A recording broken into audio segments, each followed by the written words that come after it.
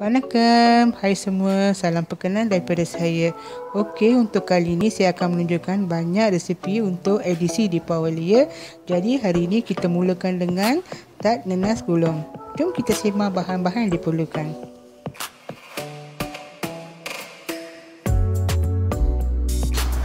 Dua setengah cawan tepung gandum. 125 gram butter atau mentega. Sudu makan tepung jagung. Hari ni saya ambil uh, sudu tu macam membukit ya. Sukatan tu membukit ya. Yang ni pun satu sudu makan tepung custard. Ni pun saya ambil sukatan uh, satu sudu tu membukit ya. Sedikit pewarna kuning. Sedikit, uh, dua atau tiga titik esen vanila. Tiga sudu makan susu pekat. Okey untuk inti nenas hari ni saya guna yang ready made. Saya tak sempat nak buat. Tapi kalau nak tahu cara untuk membuat jam nenas saya ada tulis dekat description box. Nanti anda boleh semak dekat sana ya. Sekarang jom kita buat biskut ya. Saya masukkan tepung jagung dulu. Tak payah air ya. Kita masukkan je. Tepung custard. Butter. Masukkan susu pekat. Vanila. Okay, saya akan masukkan pewarna ya. Pewarna kuning. Okey, boleh start uli ya. Saya akan guna tangan.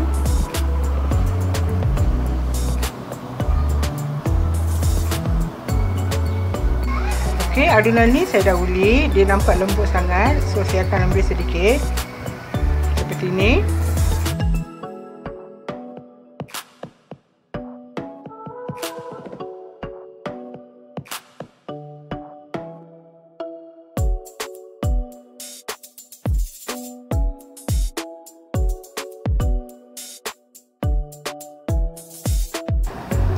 Letak inti macam ni. Kemudian kita gulung ya.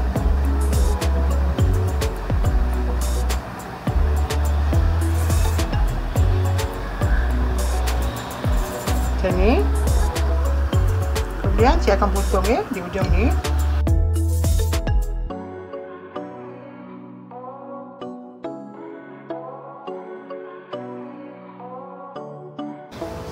Okey, dah siap. Sekarang saya akan masukkan ke dalam oven. Ha, hari ni saya bakar menggunakan suhu 150 darjah Celsius. Api atas bawah selama 20 minit je.